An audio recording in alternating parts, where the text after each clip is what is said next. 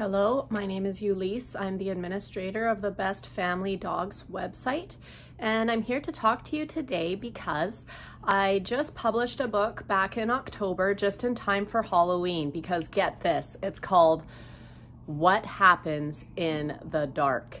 It's a children's workbook that reads like a story, and it's meant for the very young ages, the pre-verbal to sort of preschool age, maybe grade one if they have some lasting fears.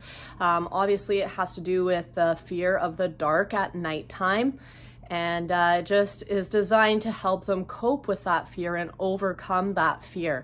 I have many, many years of uh, work with children, both sick children and healthy children, and children's of all ages and abilities. So I've been able to put that to work in. Um, this workbook and story. I have four of my own children um, none of them have really struggled super fearfully with a fear of the dark. But, you know, I was able to identify these things at earlier phases and be able to help them through that so it never actually developed into anything too fearful for them. Um, but through other experiences with my own children, I've been able to realize what works best for kids and how to help them cope to their maximum abilities and give them skills that will last so that they're able to use those as they grow. So I wanted to share with you some other things about my book today. So again, the book is called What Happens in the Dark. It's a children's book and it's available on Amazon right now, um, Amazon Kindle. If you are currently a member, this book is free. It's free anytime, all day long. If you are not currently an Amazon Kindle member, the price is only $2.56 Canadian, so you have nothing to lose. Uh, by getting this book and reading it tonight to your kids at bedtime and being able to have a discussion with your children about their fears and figuring out where they're at and having the abilities to help them through that.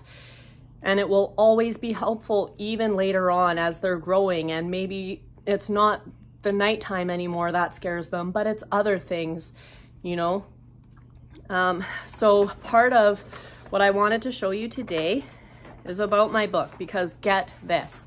The pictures in my book are all 100% hand drawn by myself and I've been using my kids' crayons to color them, or sorry, not their crayons, but their pencils. So this is uh, my character.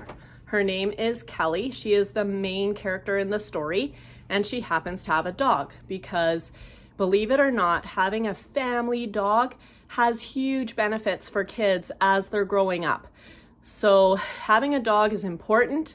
If you don't have a dog while your child is growing up, that's okay. There's still many, many ways that you can help your child adapt and grow as a parent. Um, but having a dog is very helpful. And so this story, because I talk about dogs and I talk about children, and I know lots about child development and dog development, I've combined the two in this story. So Kelly is actually modeled after my seven-year-old daughter. They both have glasses, they both like purple and those sorts of things. And she happens to have a dog. And uh, through the story, she grows because, at, of course, at the beginning of the story, she's very fearful of the dark. But with the help of her parents and her family dog, she is able to overcome that. So those that's one of the pictures I have. I also drew this monster. And in the story, uh, which also serves as a workbook, I have prompted the question, you know, what is your child afraid of in the dark? And I've given that opportunity for your child to draw their fears and their thoughts, and for you as the parent to discuss that with them.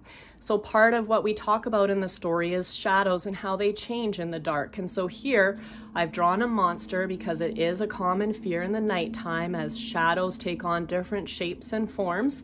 And we can see how the shadow changes in low light and becomes bigger and appears scarier than it actually should be.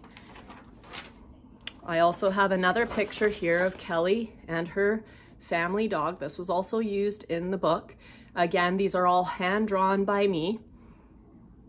I like to draw, so I've added that in there. I also like the hand drawn much more uh, with children because it sort of puts you on the same level as the child. The child is not going to be able to, you know, when they read what they're supposed to draw, draw a picture of your bedroom in the dark, they're not going to be able to go on the computer necessarily and use some high end technology and do a virtual drawing of their of their room. That's not what we're getting at here. We want simple, back to basics, pencils, crayons, draw your room. What does it look like and what sort of things does your child notice? As an adult, if you were to do the same exercise, you would notice that you would probably pick out different things.